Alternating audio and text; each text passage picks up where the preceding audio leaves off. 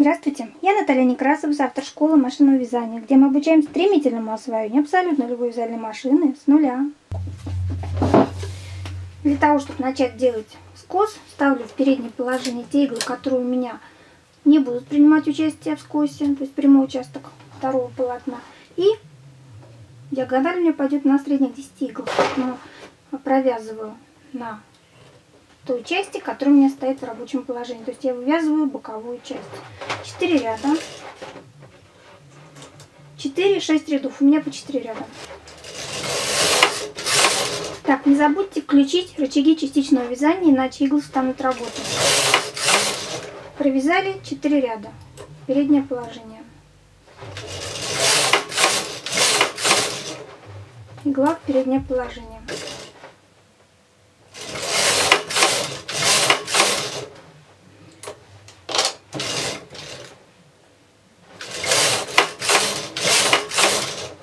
То есть мы вывязываем боковую часть, выводя через 4, 6, 8, сколько вы провязываете рядов, переднее положение, крайнюю иглу. Таким образом вывязываем уголок до начала прямого участка.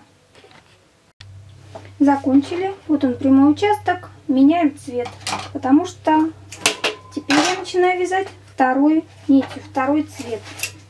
Это э, как как бы мы вывязали основу для лодки, сейчас мы будем провязывать саму лодку. Меняю цвет.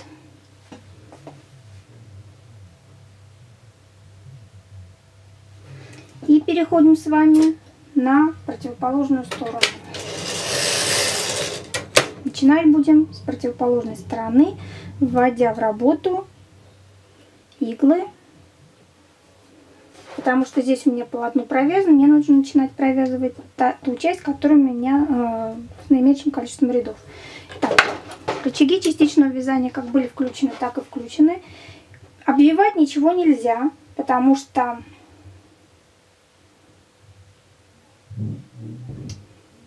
при большом количестве провязов мы просто перетянем все вязание. Мы будем делать немножко по-другому. Итак, провязываю два ряда на первых 10 иглах. Проверяю, что ничего лишнего в работу не встало. Раз, два.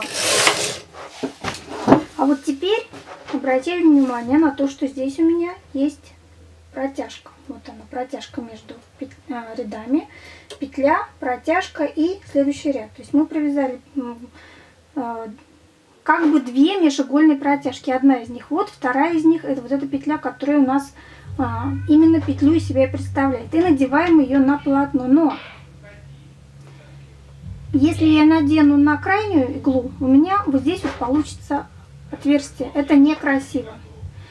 Поэтому я ее буду надевать на вторую иглу.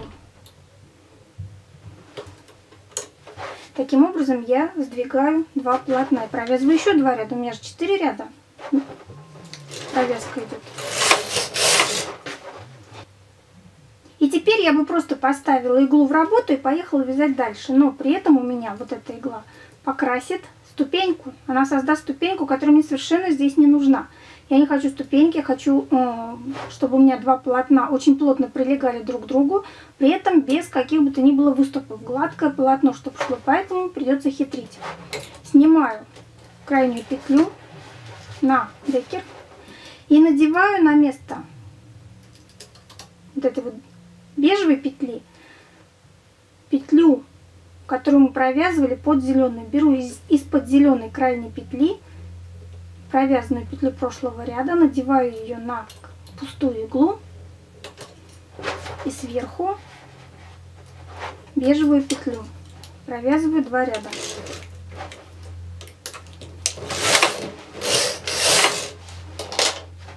Теперь Видите, полотно немножко перетягивается. Вот она протяжка. Еще раз смотрю, чтобы не ошибиться. Протяжка.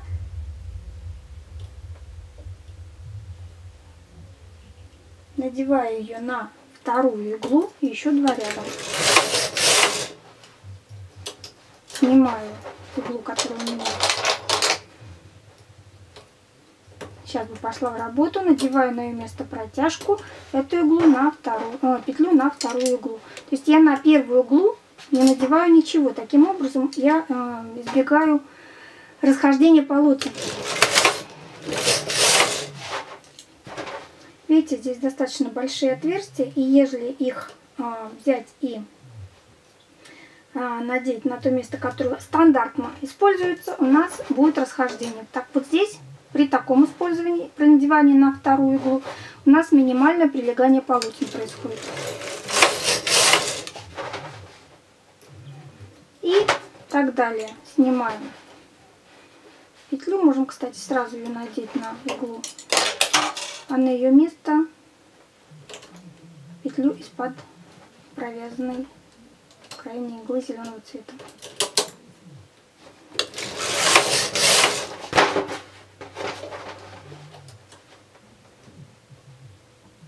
Так далее. То есть это один из вариантов прикрыть, а, перекрыть ступеньки при смене цвета а, частичного вязания.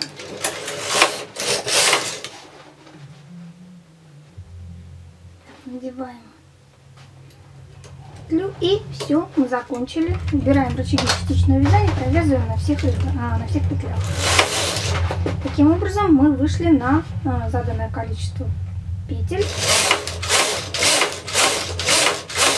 И вяжем дальше наше полотно. Что получается?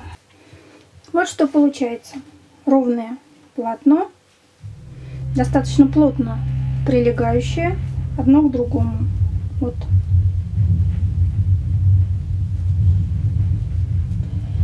В случае необходимости можно подтянуть, и вот так вот оно будет выглядеть без дырок, без протяжек, без ступенек.